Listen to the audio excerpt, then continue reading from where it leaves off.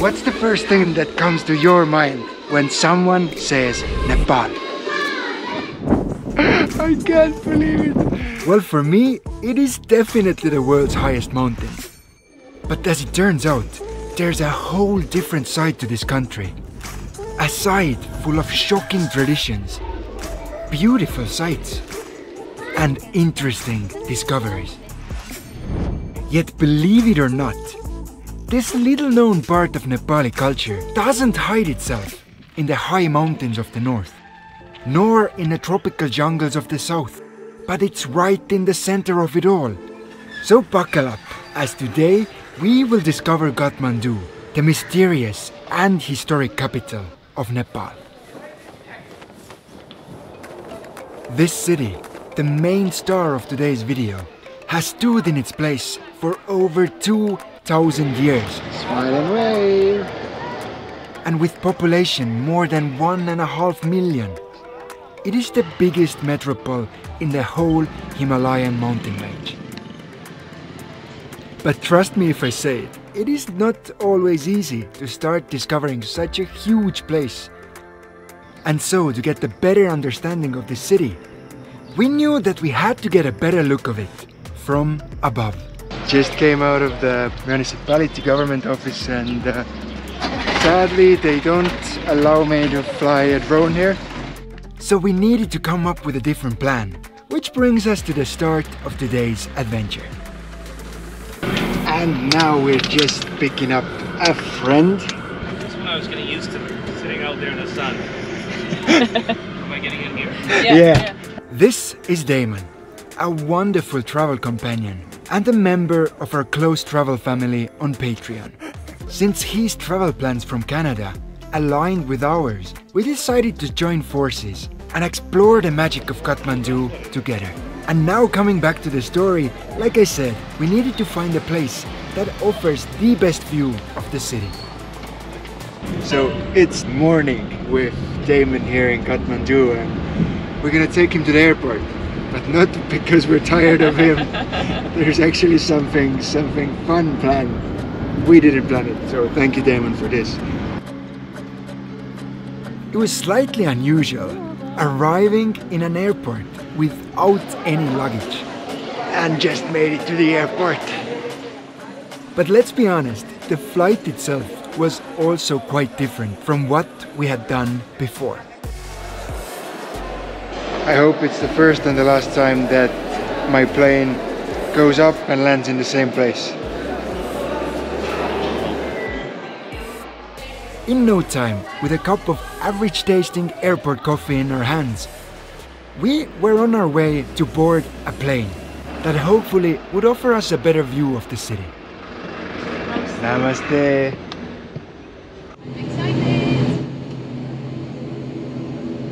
I don't know yet. As soon as we took flight, I felt like I knew this city much more than I did before. Some way seeing a place from above just helps me understand it better. And the first thing that popped in my head after seeing Kathmandu from above was that this city seems to be sitting in the bottom of a bowl. Although it's located on nearly 1400 meters of elevation, it is surrounded with mountains much higher than it from all four sides. And only after getting high above the city, we truly understood what it means for Kathmandu to be located in the Himalayas. We were just circling around Kathmandu a few rounds and I thought like, why are we doing this man? Then from the window you see that some mountains are just so incredibly high that we need to gain so much height before we can even go towards them. It's really quite the weird feeling looking out of your plane window and seeing mountains that tower much higher than airplanes fly. And it might sound like a cliche, but there still was something special about laying our eyes on Everest, the highest mountain in the world.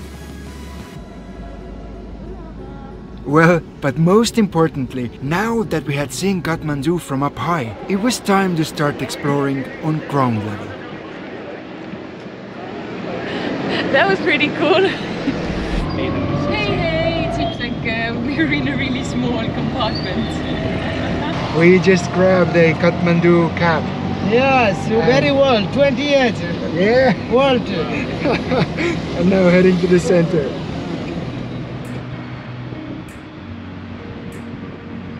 While walking through the older and central part of the city, it quickly comes clear that this place is full of surprises. Once I feel I need to go deeper in meditation and, and have a lot of free time, I'm gonna come here and learn how to do those intricate paintings. Yeah, we came here to ask about the painting class, and we had no idea that it takes five to seven days, six to eight hours a day to paint something like this. Just those bigger paintings on the walls, they take two years to make. And they use real gold and natural colors to paint it. So, for example, this one over there cost about 80,000 US dollars incredible. Just the details here. I can't believe what I'm seeing. You could say that around every corner, smaller and bigger palaces and temples could be found. They're scattered all around Kathmandu, and each of them has a story to tell. One of such stories found us by total chance. We were wandering in the famous Durbar Square and suddenly decided to walk into one of the many beautiful courtyards to get away from the city noise. But what we found there was something I hadn't even dreamed about seeing. By total accident, we ended up up in Kumari Palace, and it's one of the like weirdest places, sort of, that I've ever seen. Kumari, in Nepali Hindu religion, is a young girl who is thought to be a living goddess. They are chosen for this position at a very early age and are worshipped as manifestations of the goddess Taleju. And this until they reach womanhood, after which a next girl between the age of 2 and 4 is chosen to be a Kumari. It felt humbling and weird at the same time. And just so you know, taking pictures or video of her was not allowed. And this top window over there behind me is where we just saw Kumari, a small little girl who is thought to be goddess. Well, in the short little time we had spent in Kathmandu, we had already seen the world's highest mountain and a living goddess. But our journey through the shocking parts of Nepali culture was far from over. And next up, we made our way to what is probably the most important place for many local Hindus. This temple, they only let in people who are Hindu in their passport, so we're not getting in, but we're trying to see if we can find a viewpoint. Pashupatinath temple lies on the shores of holy Bagmati river. And this place is definitely not for the faint-hearted. On every platform here, you can see the wood have already put, been put there. There's gonna be a body burning in few hours. So that's where Hindus cremate their dead. In local tradition, if a dead family member is washed three times with the river water and then cremated on its shores, the endless cycle of reincarnation will be broken and the lost loved one can freely enter nirvana to enjoy the eternal bliss of afterlife. On this side of the river, there's bodies burning and then barely 10 meters, 30 feet away are just groups of people having picnic. One group over there, up there. They're just eating, they're doing their own thing. It's well, whether or not you believe in afterlife, it's a fascinating place to see. We literally spent hours here. Oh wow, that's a big cow. There are more than 500 temples in the whole complex, and the area has such a different atmosphere. It's it's it's a different feeling seeing a body vanish into thin air because it just reminds you that nothing is permanent, that everything I wear, everything I own, that one day it's all gone. So maybe maybe I shouldn't stress about it that much. And in such manner, Pashupatinath temple almost forces everybody who visits this place to appreciate their short lives just a little bit more. Okay, there actually was one thing that seemed quite weird about this place. What makes it funny for me is that, like uh, right next to the temple, already in a restricted area, you got a sunrise bank. Over there, it's Nepal Bank, so you probably go and like ask the god for your help and then come here and get the loan for your house. What do you guys think? Do people really ask for God's blessing before visiting their bank? Or is there another reason for the offices to be located here? Yet, what makes Kathmandu such an interesting location is that it is one of those rare places where many religions and cultures thrive side by side without conflict. So, beside Hindu heritage, there are also many Buddhist holy places. Most of them can be identified by the tall white stupas with golden tops. Then, of course, colorful prayer flags and prayer wheels that, by local belief, send positive energy and prayers into the universe every time they're turned. Prayers sent. One of such incredible Buddhist sacred sites is called Swayambhu Mahachaitya Temple. Yes, to pronounce this name correctly, it took me a good five minutes of practicing.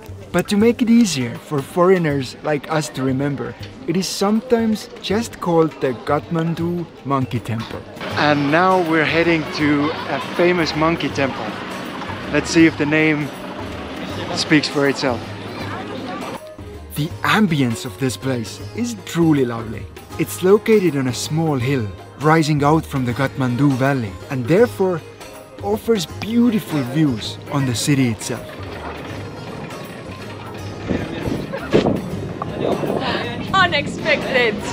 Look at that monkey go. Somebody just half finished the lassi and he's just drinking it, enjoying it.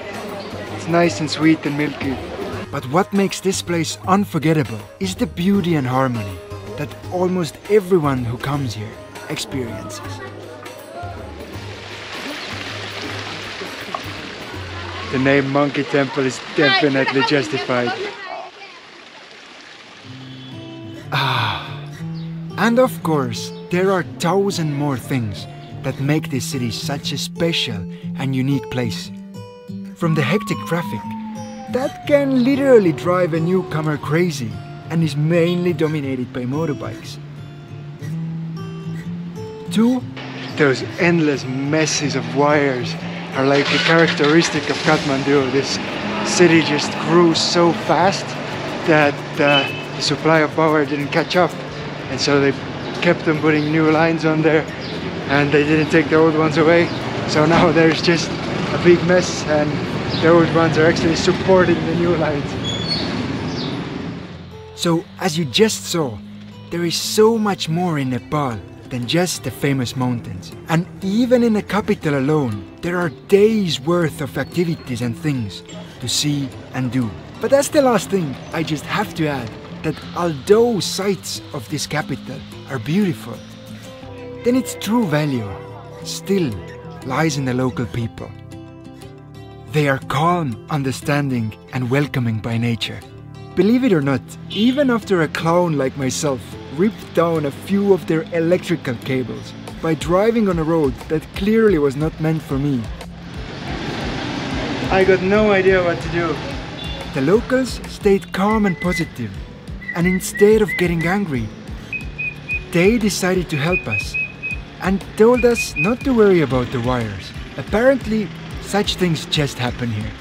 And I really hope that the family who was connected to those wires did not have to have their dinner by candlelight that evening. Friends, thank you for watching and we hope to see you back on the channel in a little bit less than a week.